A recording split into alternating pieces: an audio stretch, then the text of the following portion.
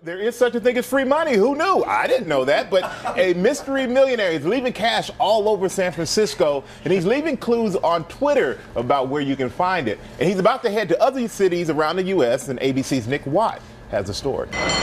Yep, there really is a guy in San Francisco giving away free money, hiding it under benches, taping it to parking meters, posting clues on Twitter like this.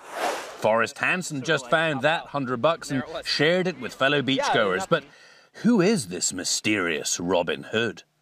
How much are you going to give away? Probably going to reach at least in the hundreds of thousands. Wow, we.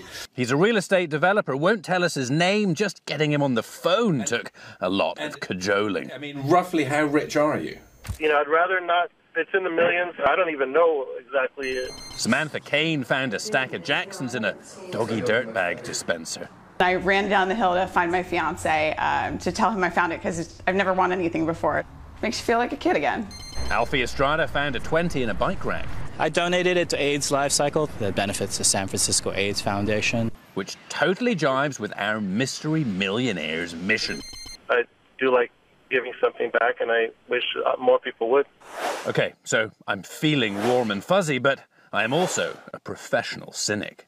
Can you promise me this isn't like some kind of cynical marketing ploy? I have no business intentions with it at all.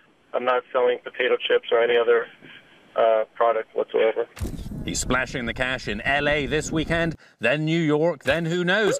He could be coming to a city near you. Watch out.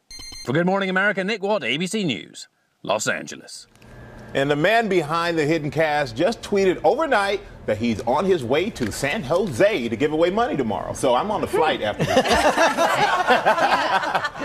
Go ahead and book that. But what a great virus to get started, hoping everybody else is going to pick it up and then give the money away as well. That's fantastic. Yeah, he said he hopes it uh, kind of creates some momentum and you're in line for coffee. Buy the five people behind you a cup of coffee. That's Do great. Act a random act of kindness. I love it. And who doesn't love a treasure hunt? Right. It's exciting. It is exciting.